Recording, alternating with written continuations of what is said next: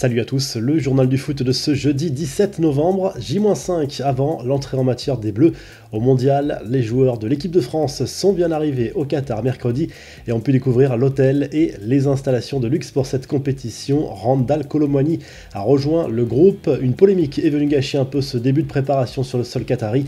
Des images diffusées à la télé argentine montrent en effet les supporters entonner des chants racistes à l'encontre de l'équipe de France et de Kylian Mbappé. Un chant qui s'attaque aux origines africaines du Parisien et de certains joueurs des Bleus. Léo Messi livre quelques indices sur son avenir lors d'un entretien accordé à la Confédération sud-américaine de foot. L'Argentin a clamé son amour pour Paris.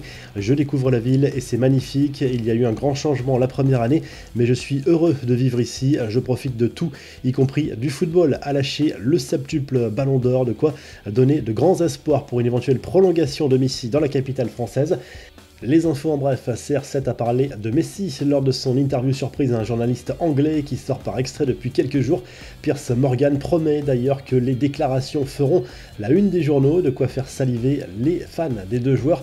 Une chose est sûre, CR7 ne sera sans doute plus le bienvenu à United après le mondial. Le club mancunien ne veut plus que son image soit associée à celle du portugais et a fait retirer une affiche géante représentant Ronaldo sur les murs d'Old Trafford.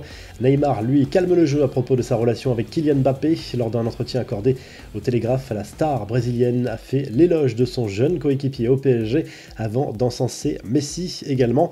À la fin d'un long feuilleton repoussé à deux reprises ces derniers mois, la prise de contrôle de l'Olympique lyonnais par John Textor arrive sans doute à son terme. Le passage de l'Américain devant la DNCG s'est passé sans encombre.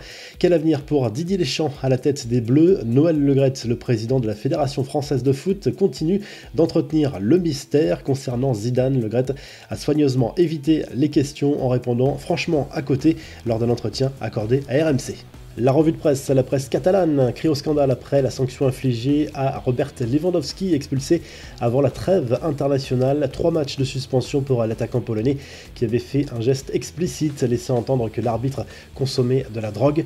En Angleterre, le Daily Express Sport se penche sur le début de la préparation des joueurs de Gareth Southgate sur le sol du Qatar. Premier match pour les Anglais dès lundi 14h contre l'Iran. Et en Italie, le Corriere dello Sport se penche sur la victoire de la Squadra Azzurra en amical contre l'Albanie. Mais forcément, le coup d'envoi imminent du mondial rappelle aux supporters italiens de mauvais souvenirs cette élimination dans les qualifications pour cette Coupe du Monde au Qatar. Les Italiens qui regarderont la compétition à la télévision. Si le journal du foot vous a plu, n'hésitez pas à liker, à vous abonner pour nous retrouver très vite pour un nouveau journal du foot.